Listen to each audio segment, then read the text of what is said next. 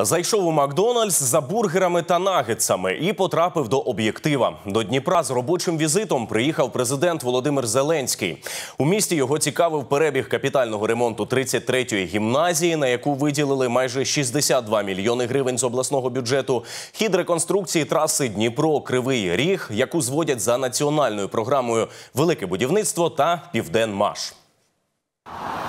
У аеропорту Володимира Зеленського зустрічали активісти громадської платформи Дніпро без Філатова. Якщо він зупиниться, ми, по-перше, віддамо документи йому е, особисто в руки, які свідчать про те, що, по-перше, з бюджету відмито колосальні суми е, грошей саме цією командою, і ці гроші зараз пускаються на розповсюдження е, партії пропозиція всією державою. Кортеж президента зупинився біля активістів і їм вдалося віддати документи.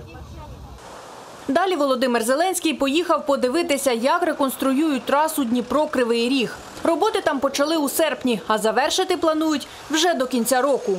Сейчас мы находимся на участке дороги М04, который сообщает, ведет сообщение между городом Днепропетровском и переходит в трассу Н11, которая также будет ремонтироваться в ближайшее время, начинаться город Кривой Рог. После города Кривого Рога будет продолжение трассы Н11, которая приведет нас в Николаевскую область. Сейчас проводятся макс- масштабные работы там уже Загалом цьогоріч збираються відремонтувати майже 250 кілометрів доріг Дніпропетровщини. На це із державної скарбниці виділили понад 6 мільярдів гривень. важливі і Дніпро Кривий Ріг, і на Нікополь, і е, е, в Київ дорога абсолютно нова, яка буде нарешті.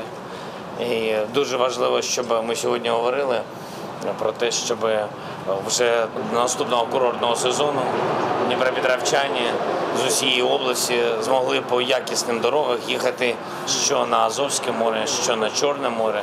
На південмаші Володимир Зеленський заявив, що саме сьогодні Кабмін нарешті вирішить питання із повернення робітникам підприємства 220 мільйонів гривень заборгованої зарплатні. Галина Гусак, Сергій Язовських. Новини на Д1.